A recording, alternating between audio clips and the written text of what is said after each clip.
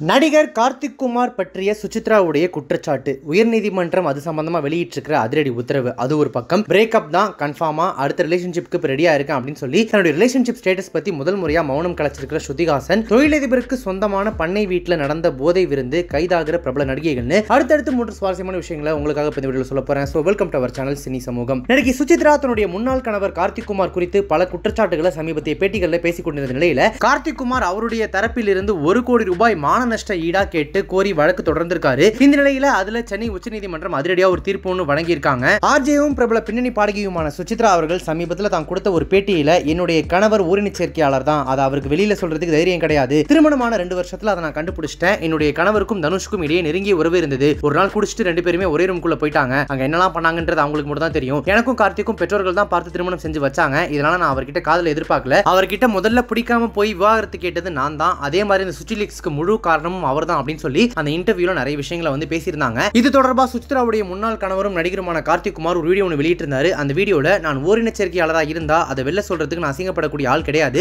Sex அப்படிங்கிறது அவங்க அவங்களுடைய தனிப்பட்ட விருப்பம் அதுல நான் ஓரிணச்சேர்க்கையாளராக இருந்தா தைரியமா நான் இப்படிதான் அப்படின்னு சொல்லி வெளியில சொல்லியிருப்பேன். எந்த இடத்துலயும் அதை மறைச்சு வச்சு இன்னொருத்தரை கஷ்டப்படுத்த வேண்டிய அவசியம் எனக்கு கிடையாது. ஓரினச்சேர்க்கையாளர்களுக்கு சப்போர்ட் பண்றேன் அப்படின்றதுனால நான் ஓரினச்சேர்க்கையாளர் அப்படின்னு அர்த்தம் கிடையாது. அப்படி இருந்தா நான் ஆமான்னு ரொம்ப சந்தோஷமா சொல்லுவேன் அதை வெளில சொல்ல அசிங்கப்பட மாட்டேன்னு கார்த்திக் ஒரு வீடியோ ஒன்று வெளியிட்டிருந்தாரு. அதை தொடர்ந்து சுசித்ரா தன்னை பற்றியும் தன்னுடைய குடும்பத்தை பற்றியும் தொடர்ச்சி அவதூறான கருத்துக்களை தெரிவிச்சுட்டு வந்துட்டு இருக்காங்க. அதனால தானும் தன்னுடைய குடும்பமும் மிகுந்த மன உளைச்சலையும் வருத்தத்திலையும் இருக்கிறதாகவும் அதனால பாடகி சுசித்ரா தன்னை பற்றியும் தன்னுடைய குடும்பத்தை பற்றியும் கருத்து தெரிவிப்பதற்கு இடைக்கால தடை தெரிவிக்கணும் அப்படின்னும் அதே நேரத்தில் சுசித்ரா தங்களுடைய நற்பெயருக்கு களங்கம் விளைவிச்சா அதுக்கு சுசித்ரா நஷ்ட ஈடு வழங்கணும் அப்படின்னு சொல்லி கார்த்திக்குமார் ரீசனா வந்து வழக்கு தொடுத்து இருந்தாரு. இந்த நிலையில கார்த்திக்குமார் தொடுத்த அந்த வழக்கை விசாரித்த சென்னை நீதிமன்ற நீதிபதிகள் சுசித்ரா அவர்கள் இதுக்கப்புறமா கார்த்திக்குமார் குறித்தோ அவர் சம்பந்தப்பட்டவங்க குறித்தோ அவதூறு கருத்துக்களை தெரிவிக்கிறதுக்கு சுசித்ராவுக்கு இடைக்கால தடை விதிச்சு சென்னை உயர் நீதிமன்ற நீதிபதிகள் தீர்ப்பு வழங்கியிருக்காங்க. ஒருத்தர் லவ் பண்ணாலும் சரி லிவ் இன் ரிலேஷன்ஷிப்ல இருந்தாலும் சரி இந்த சொசைட்டியை பத்திலாம் எந்தவித கவலையுமே இல்லாம அதை எப்போதுமே ரொம்ப வெளிப்படையா சொல்லக்கூடிய ஒரு நடிகை ஸ்ருதிகாசன் அவங்க எப்போதுமே இந்த மாதிரி விஷயங்களுக்கு தயங்கினது கிடையாது. பிரபல டாட்டோ ஆர்டிஸ்ட் சாந்தனுவை காதலிச்சு வந்துட்டு இருந்தாங்க ஸ்ருதிகாசன் ரெண்டு பேருமே மும்பையில ஒரே வீட்டில் லிவ் இன் ரிலேஷன்ஷிப்ல இருந்துட்டு வந்தாங்க. ஆனா திடீர்னு ரெண்டு பேருக்கும் இடையே ஏற்பட்ட கருத்து வேறுபாடு காரணமா ரெண்டு பேருமே மியூச்சுவலா பிரிஞ்சுட்டாங்க. சிலரோட உண்மை முகங்கள் இப்போதுதான் வெளிச்சத்துக்கு வருது அப்படின்னு சொல்லி மறைமுகமா சோஷியல் மீடியால ஒரு போஸ்ட் போட்டு இருவருக்கும் இடையேயான பிரேக்கப் ஸ்ருதிகாசன் உறுதியும் பண்ணிட்டாங்க.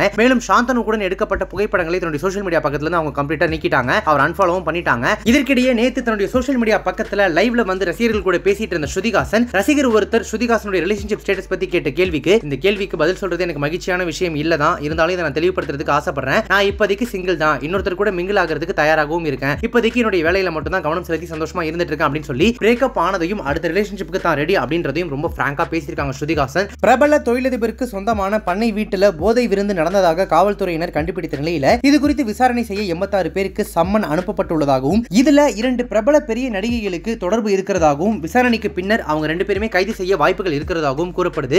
பெங்களூரு புறநகர் பகுதியில் தொழிலதிபருக்கு சொந்தமான பண்ணை வீட்டுல கடந்த சில நாட்களுக்கு முன்னாடி நடந்த விருந்துல போதை மருந்து பயன்படுத்தப்பட்டதாக கூறப்படுது. இது குறித்து தகவல் கிடைத்தவுடன் அதிரடியாக காவல்துறையினர் நடத்திய சோதனையின் போது இந்த விருந்துல நடிகர் நடிகைகள் மாடல் அழகிகள் உள்பட நூற்றுக்கும் மேற்பட்டோர் கலந்து கொண்டதாகவும் போதை மருந்து விருந்து வைத்த ஐந்து பேர் கைது செய்யப்பட்டதாகவும் கூறப்படுது. இந்த நிலையில இந்த விருந்துல தெலுங்கு திரையுடன் திரையுலகைச் சேர்ந்த நடிகை ஹேமா நடிகை ஆஷா ராய் ஆகியோர் பங்கேற்றதா போலீஸ் விசாரணையில உறுதி செய்யப்பட்டிருக்கு. இந்த நிலையில இரண்டு நடிகைகள் உள்பட எண்பத்தாறு பேருக்கு சம்மன் அனுப்பப்பட்டிருக்கிறதாகவும் அவங்க கிட்ட விசாரணை செஞ்சதுக்கு அப்புறமா கைது செய்யப்படவும் வாய்ப்பு இருப்பதாக கூறப்படுது. இந்த நிலையில நடிகை ஹேமா மற்றும் நடிகை ஆஷா ராய் இவங்க ரெண்டு பேருமே இது குறித்து என்ன சொல்லியிருக்காங்க அப்படின்னா நாங்க ரெண்டு பேருமே பண்ணை வீட்டுல நடந்த ஒரு நிகழ்ச்சியில பங்கெடுத்துக்கிட்டோம். ஆனா அங்க போதை விருந்து நடைபெற்றது அப்படின்றது எங்களுக்கு சுத்தமா தெரியவே தெரியாது அப்படின்னு சொல்லியிருக்காங்க. சோ இவங்க கைது செய்யப்படுவாங்களா அல்லது இவங்க ஸ்டேட்மெண்ட் எடுத்துக்கிட்டு போலீஸ் அது சம்பந்தமா விசாரிப்பாங்களா அப்படின்றத பொறுத்திருந்து தான் பார்க்கணும். இந்த சம்பவம் தெலுங்கு திரையுலகத்தில் பெரும் பரபரப்பை ஏற்படுத்தி இருக்கு இப்போ இந்த வீடியோவில் சொன்ன விஷயங்கள் பற்றி உங்களுக்கு கருத்துக்கள் என்ன அப்படின்றத கமெண்ட்ஸ் சொல்லுங்க. இந்த வீடியோ ரொம்ப பிடிச்சிருந்துச்சுன்னா லைக் பண்ணுங்க ஷேர் பண்ணுங்க. நம்ம சேனல் இது வரைக்கும் சப்ஸ்கிரைப் பண்ணாதவங்க யாராவது வீடியோ பார்த்துருக்கீங்கன்னா மறக்காம உடனே இப்பவே நம்ம சினி சமூகம் யூடியூப் சேனலை சப்ஸ்கிரைப் பண்ணிட்டு பக்கத்தில் நோட்டிஃபிகேஷன் பெல் பட்டன் மறக்காம டிங்க நினைத்துருங்க